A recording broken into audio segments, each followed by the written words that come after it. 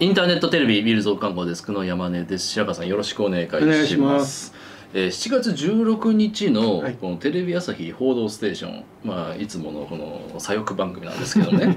これがまたこの東京五輪について、はい。こう懸念をいまだに言ってるわけですよ。撮影時点ではまあ一部の競技も始まって、まあえー開会式も間もなくというところなんですけれどもそれがですねこはい。のワクチンに集中させて、うん。えー病院の訴ええー五輪1週間前えー首都圏で感染拡大と、うんうん。えー言ってるわけですよ。で、はい。このナレーションがまずこう国立競技場を望む都内の病院ではと言ってこうカメラがこう入っていきましてそしたらリポーターがですねえー国立競技場から5分ほど歩いた場所にあるこちらの病院では窓ガラス全面にオリンピック中止を訴える紙が貼られていますと。うん。でまあ実際にこの映像だと本当にもう全面に、えー五輪中止びっくりと、うん貼られてるわけですよね。なるほでその後にこの張り紙をした病院の院長に話を聞きました。どはいそしてこの代々木病院の川辺博正院長はいにインタビューに入るんですよ。なるほどでその院長がですねえー五輪が開催されるとなるとえー非常に私たちの医療活動に大きな支障をきたすことになりますのでえー医療現場の声をしっかり届ける必要があるだろうということでああいった掲示をえー示させてもらいましたと。はいなんですけども、はいちょっと代々木病院っていうのがちょっとピンとくるかと。まあ来る人は来るでしょうねうんそうなんですよね。はいでは国立競技場っていうのは、まあ、駅でいうとあの総武線中央線の、まあ、千駄ヶ谷駅に近いですよね。ですね。まあ、隣の駅に、まあ、代々木があって、まあ、ええ代々木といえば何かという話ですよね。ですね。よ代々木ゼミナール じゃなくて。え。はい。まあ共産党の本部ですよね。ええ。はいこれ調べたらですね、はい。ニュースエブリもこのうん川辺委員長が出演なさってました。えでこれもね、えっと同じようなことをおっしゃってました。これええ読んでください、はい、感染をさせないということを第一義的に考えるとやはり、えー五輪に臨むわけにはいかないと。はい。うんまあ同じようなことなんですよね。ええ。まああの掲示板があ掲示があってそこにまあ五輪中止と命を優先せよと、はい。感染対策が優先であるとワクチンに注,、えー注力させてくれと集中させてくれと、えーだから五輪は中止すべきだみたいなことですよね。はい。問題はですねなぜ代々木病院なのかなんですよね。ええ。うん。この実際こう代々木病院、まあ、代々木イコール共産党っていう、うん。まあ代名詞というか、まあ、そういうイメージは我々あるじゃないですか、ありますね。ただこう名前だけじゃないのと、うん。実態はどうなのという話なんですが、どうなんでしょうか？これねあのいや代々木病院と聞いて ピンとくる人って少ないと思いますよ。少ないですよね、うん。まあ、よっぽど、まあ、政治に興味ある方、そうですね。まあ、特に若者はまはい。あ知らないですよね、そうですね。大体ね代々木って聞いてあ共産党って思いつく若者ってそんなにいないですよね。特に全国レベルで言ったら。うんえ。まあ予備校のは有名ですよまだ。えうん。うん、ただねその、えー代々木病院って、まあ、正式名称が医療法人東京勤労者委員会代々木病院という名前だそうです。えこれねあの民医連、えー全日本えー民主医療機関連合会に加盟している病院なんですね。ええ。この民医連というのは実は共産党系でして、ええ。えーえーこの代々木病院自体が実は小池、えー書記長が、うん。えー勤めていた病院なんですね。あの人は東北大学医学部卒業して医師免許持たれてますからね,、あそうですね。お医者さんとしてこの代々木病院に議員さんになる前は勤めていたと。でこっから出世街道に入るんですよ、え小池さんって。えはい。うん。あとね、えー宮本賢治、まあ、大ボスの、えー元議長いましたがこの人2007年に代々木病院でなお亡くなりになってますから、なるほど。はい、もう共産党といえばじゃないかな、ええ。うん、代々木病院みたいな。ね、この本丸を言ってしまうと、はい。この東京健療者医療会はいにこの代々木診療所という別の病院があるんですよね。うんでそれは日本共産党ビルの中に入ってる。ああなるほどね、だから日本共産党うん。医療部みたいな。まあ視点ですよね、えはい、まあもう一個あったんですが実は流山にもこの、えー勤労者委員会、えーの系列の病院があるんですけれども、ええ。ここなんかは今収益源で困っているっていうんで赤旗にこう特集されてるんですよね。ええで共産党の千葉県委員の、えー理事長さんと対談をえ委員長さんがしてたりして、ええ。もう通過なんですよね。はい。ここ自体が。だから、えーまあ代々木病院といえば共産党なのにこの「報道ステーション」って一切触れてないんですよね。たまたま五輪の会場の近くにある病院でこういうことがありました。で院長さん出てきて「五輪は今中止にすべきですよね。ワクチンが大切ですよね」って言うんだけれどもおかしな流れですよね。うん、それはもう共産党系の病院だったらそれはうん。五輪中止の張り紙するのは当たり前ですし、うん。ね。そうなんですよ。だからもともとそのいかにもこう近くの病院でこんなことがありましたってエピソード的に言ってんだけど、ええ。違うだろうと。うん。もともとこの張り紙からなんか始めてるだろうお前らってことなんですよね。ええ。うん。そういう絵が撮りたかったんでしょうねテレビとしても。というのはですね赤旗もね同じ日に掲載してるんですよ、うん。この代々木病院の張り紙のことを。ええ。大きく。はい。うんだから「報道ステーションニュースエブリー赤旗ですよ。うん。共産党機関紙ですよ、ええ。全く同じ特集やってるんですよ、うん。同じ趣旨で。ね。もう意図的でしょこれ。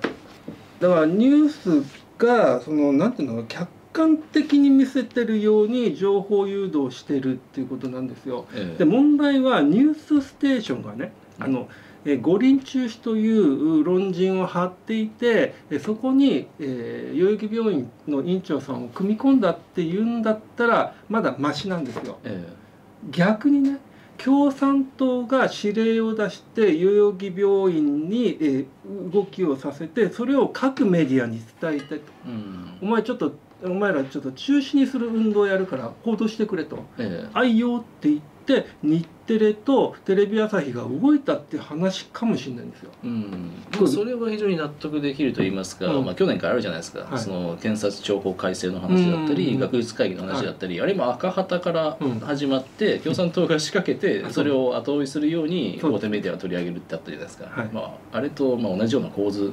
だと分かりやすい。うん、そうなんですよ。だからもし後者だとしたらねこれ大問題で、うん。今共産党の指令のもとに各メディアが動いてええ。中止えのお運動をやっていると。はい。しかもこれ相当影響力あるでしょ？テレ朝の「報道ステーション」とか日テレのえ「ニュースエブリ」なんて。えここが共産党の指令でホイホイ動くという状態であるとこれ、え電波って公公あ公共財ですから、えうん。やっちゃいけないんですよ本来。電波法違反なんですよ。え。明らかに。はいこれ状況証拠的に電波法違反じゃないですか。えうん、それをそうですね。うん、平気でやってるんですよ。だって赤旗に載ってることを全く同じ趣旨のことを「ニュースステーション」うん。ニュースエブリ」これどっちも報道番組ですよ、ええ。中立でなければいけない、うん。ここがやったっていうことは本当大問題なんですよね。うん。うんだから我々はねこうやってまあのほほんって見てるとで特にこう代々木病院というのがどういうところか知らないとあそうなんだとこういう病院あるんだ院長さんなんかしっかりしてそうだなと、うん。あワクチン重視してんだってうーんって。でなんとなくああやっぱり五輪ってダメだなっていう印象だけが残るんですよね。えでもそれを狙ってんですよ。えうん。でそれをテレ朝回してもそれが出てくるし日テレ回してもそれが出てくると、これ異常ですよ。上ですね、うん。少なくともこの五輪に賛成するうん。別に問題ないんじゃないって言っているお医者さんに話をせめて聞かないと、うん。う。ん、両論兵器ですからね。そうなんです。両論兵器の原則っていうのを一切守ってない。いやだからね問題はだから「報道ステーションが」えーと五輪中止っていうスタンスってもうはっきり言ってくれればまだいいんですよ、ね。うちはもう中止のスタンスで報道しますから。と、うんうん、それをもとにあじゃあ共産党系の代々木病院の院長さんにインタビュー取りましたと。言うんならいいですよ、うん、あここはあの反対の論陣なんだなと、うん。それ一切言わないですね、うん。うん。まあ、もちろん言ってしまったら放送法違反になっちゃうんでうん。ね言えないですけど、うん。そうそう。だからそこが問題なんですよ、えあたかも中立を装って共産党の指令を受けて報道してるんじゃないの？というね、うん。その疑いですよ。ええものすごい深刻ですよこえれって、うん。あれはちっちゃい時に、うん。そのペンは剣より強しみたいなことわざって習ってるじゃないですか、はいはい。でもみんな常識で知ってるでしょ、そうするとやっぱりそのペンは、まあ、刃物より強い武器であるわけですよ。これは事実ですよね、えうん、そうするとねマスコミって刃物より強い武器を持ってるわけですよね、ええ。そうするとなんとかに刃物ってことわざあるじゃないですか、えうん。うんまあ、なかなか言えないですけどね。なんとかに刃物なんですよ、だから今。このねなんか赤旗に出る日テレに出るテレ朝に出るみたいな状態って、本当我々ねあのーなんていうのかなちゃんとクレームつけていかないとええ。これまずいですよね。うん。もしかしたらこれ我々が調べたのがたまたま2つの曲だけで全曲やってるかもしれないわけですよ。そうですね、まあ、TBS とかはうん。わからないですけど、ん。やってても全く不思議ではないですし、そうなんですね。むしろ日テレがこういうのをやっちゃうっていうのがちょっとショックなんですけどね、ん。何もな知らなかったんですかね。なんかわけはないですから。なわけはないなわけないですから。だからやっぱりその共産党がねネットワークっていうのをマスコミに広げていて、え。なんか一個の意思のもとに指令が出るとその通りに動くえ人たちがいるってことですよ、ううん。日テレが全部共産党に支配されてるなんて思ってないですよ、うん。私だって。ただその社員の中あるいはそのプロダクションの中にやっぱりシンパーがいて、うん。えーそっちの方向に動かそうとする人たちがいるんじゃないのと、うん。うん。